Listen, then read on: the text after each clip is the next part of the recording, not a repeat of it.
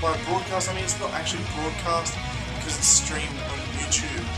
And it's not also your regular anime say.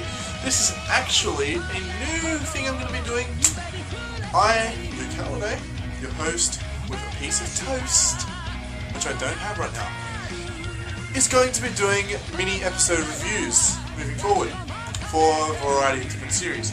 And today I'm going to be starting off with Hunter x Hunter, episode 45. Now, just to let you know, these little mini reviews, this is going to be a mini episode review. I'm going to recap the episode and say what I thought about it. I'm going to be doing a few different series. I haven't decided on all of them yet, set in stone. I know for a fact I'm going to be doing Hunter Hunter moving forward, definitely. I love this series, I'm going to be definitely doing this moving forward. I'm going to be trying to do some series that I know other anime YouTubers out there, anime community YouTubers aren't doing. Um, Hunter x Hunter is one that's not being done too much, so I'm, I'm definitely doing that. I might maybe be doing Skeptics. I'm not sure yet, but I'll let you know. Or you'll find out. Anyways, let's move on to Hunter x Hunter. And come on. Alrighty. Now, this was a pretty interesting episode of Hunter Hunter. Um, I, I'm up to date with the manga, so I, I know what's going to happen, but still, this is a very interesting episode.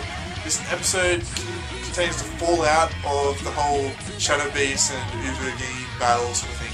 So pretty much, Kurapika has kidnapped Uvo after the battle with the Shadow Beast. Uvo can't move, he's, chained up, and all the Nostrade family bodyguards have got him chained down to this metal table sort of thing.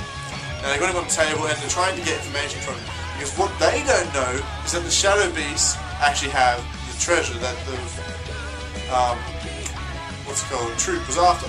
So they don't the Nostrade bodyguards don't know that the Shadow Beasts have it. But the troupe does know that the Shadow Beasts have it. So the troupe they're off dealing with the Shadow Beast because Al jumps down in the car and he's like trying to stop them, whatever. So have, the troupe is trying to deal with the Shadow Beast right now, and you know they make quick work, quick work of them. They pretty much just demolish these guys like really quickly. It's, it's funny they they Madhouse added a bit of filler into this bit, sort of like extending the Shadow Beast. So they have like the Shadow Beast. One of them is like, oh the troupe they look weak, sort of thing like that. And Feitan's just like, bitch please, bitch please. And next thing we know, they're just like lying mangled corpses. Some of them look like they're cut up and there's blood everywhere. It's freaking insane. Anyways, then after that we go back to the we go back to the Strike bodyguards and they got Uvo down. And Dalzollene, you know the leader guy douche, he's got he's got the he's got a sword. And he's like trying to say trying to tell Uvo, you gotta tell us where where the treasure is. Once again, they have no idea that the Mafia's had the treasure the whole time. The troupe has never had it. So, they're torturing this guy when he does not even have it. They did not get it. Yes. So he starts the thing, but Uvo's skin is so fucking. It's just like iron. This shit is iron. And he, he enforces it with his Nen, or his Ren, so that makes it even more stronger. And the blade snaps, flies off, hits a wall, and it's like cuts through the wall. Anyways, so Uvo's like, oh, I'll make a deal with you. We don't have, we, the Shadow Beasts have the treasure, we don't have it. You grunt, low grade grunt, obviously didn't get the memo.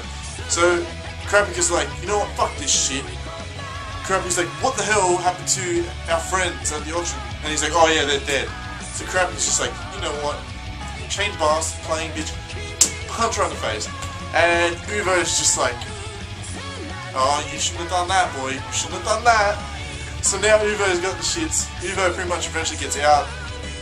Long story short, Troupe comes in, pretending to be Mafia, and Dalzollene dead. So Dalzollene is killed, and once again we have someone killed before they could even make it into the Huncyclopedia. So, anyways, so he's in the Huncyclopedia. Anyways, then they free Uvo. Uvo is just like full rage. He's like, "Oh, where's that chain boss? I was oh, he wants, he wants to kill the chain man. That's the end of the episode. And, well, oh yeah, earlier on in the episode we have an amazing, amazing, amazing scene with Hisoka meeting up with Kurapika. This episode had so much in it, so much. So you have Hisoka meeting up with Kurapika and he says to Kurapika, oh yeah, let's do a team up. He's like, I want to fight Chrollo Lucilfer. He's like, I want to fight him because he turns me on just the thought of fighting him. So anyways, there's a prospective team up. We all know it's going to team up because a plot plot like a plot point like this doesn't just turn up and then Kurapika says no and then nothing happens. So obviously Kurapika is going to team up with his Hisoka, but anyways. So what do I think of the episode? I thought it was a pretty damn good episode. I think Madhouse did an excellent job, pretty much hitting all the right notes, everything. The music arrangement could have been a little bit better. I do think Chain Bastard should have started playing once he hit him in the face, once Kurapika hit Uvo in the face, but instead of played when he was asking the questions, which was okay, but I think it could have been a bit better placed. The episode overall was a really it was a build-up episode. We know what's going to happen next episode. Shit's going to go down. Shit is going down. Next episode, I predict, is going to end with a certain two characters meeting. You the preview, you probably know who it is already. I'm not going to say it just because I'm spoiling. This episode was damn fucking good. And if you're not watching Hunter Hunter, you should be by all rights, you should be, because this episode is just proof of how well structured the series is, the amazing story it tells, and the way it's just, it's like, it's really complicated what actually happened. Like, all these miscommunications ended up with the Mafia getting involved, wanting to, you know, go the true, the Troupe wanting to go to Mafia. So anyways, everything is pretty much really complicated, but at the same time it's pretty, pretty damn simple. And the way he's constructed the story is just so natural, everything flows, and this episode was a great example of that. We had a lot of intertwining character threads and all this sort of stuff, and it was really just fucking good. So if you're not watching Hunter Hunter, go to Crunchyroll right now, go watch it, I'll put the link to the episode in the description below. Go watch this episode, you should be watching it. You should be watching this series. It's easily one of the best shows there right now. It's, my favourite show to see right now, so go watch that shit. Okay.